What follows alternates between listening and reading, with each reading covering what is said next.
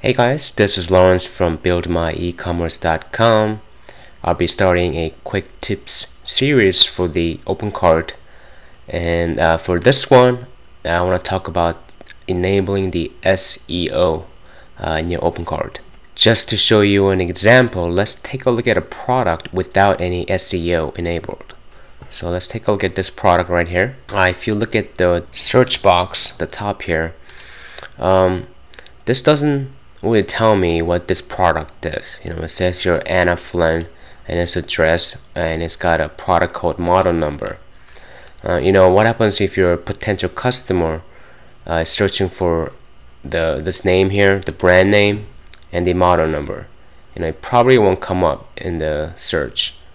Uh, so to have a better chance of showing up in Google, we should enable the SEO. Uh, to do that, let's go to the back end and then go to system settings and then click edit to your store name and then click on the tab here called server. And you see here uh, it says use SEO URL it says no. So you want to click yes. Now if you look at the uh, the info right here it also wants us to rename uh, the file called hta htaccess.txt to period htaccess. So this file is located in where you install the OpenCart. Uh, let's go to the file manager. So this is where I have installed the OpenCart and here's the htaccess.txt. Let me just rename this to .htaccess.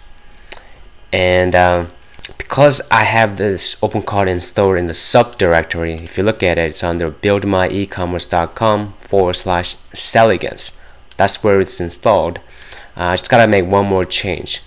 Uh, right click on that file, go to code edit, click edit, and then under the SEO URL settings, next to the rewrite base forward slash, I have to type in my directory. So in this case, like I said, it's in Selligence. So let me just copy and paste this.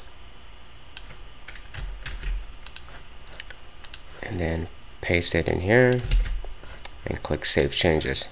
Now, if your OpenCart is installed in your main directory, let's say like, you know, demostore.com, then you wouldn't even have to type it in here. You would just have forward slash.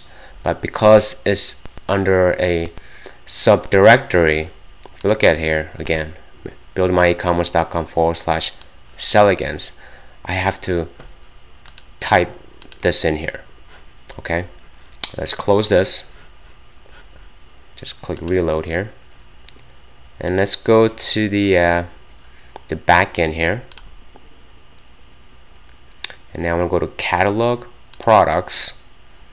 And this is the product I want to enable the SEO so click edit and then go to the uh, data tab. And next to the SEO keyword this is where I would enter it in here. So I want to type in Anna for uh, hyphen Flynn. And then I also want to enter the the model number here in case potential customers searching for that. Just copy that and paste it in here. You know just make it all lowercase and click save now when we go to the front end and let's go home let's click on that same product. Now you can see at the top uh, it says Anna hyphen Flynn hyphen and then the model number. I uh, hope you guys found this video helpful. Uh, please subscribe and if you have any questions let me know. Thank you. Bye